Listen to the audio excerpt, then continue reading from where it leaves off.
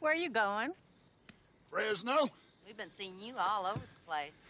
Why don't you take off those shades? I want to see your eyes. Yeah, I've been seeing you too.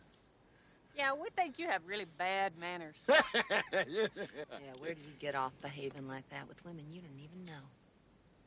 Huh? huh? How'd you feel if somebody did that to your mother? Or your sister?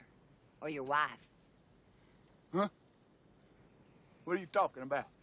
You know good and damn well what I'm talking about. I mean, really, that business with your tongue?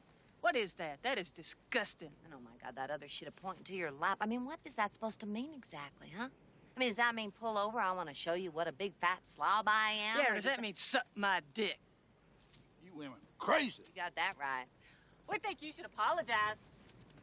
I ain't apologizing for shit. You say you're sorry.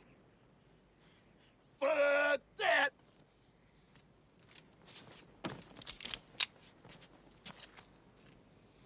You say you're sorry, or I'm gonna make you fucking sorry. Oh, Jesus.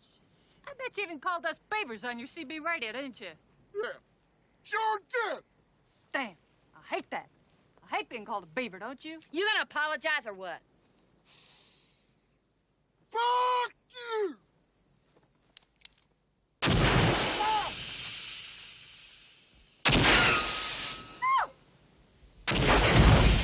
Oh, God damn you, bitch!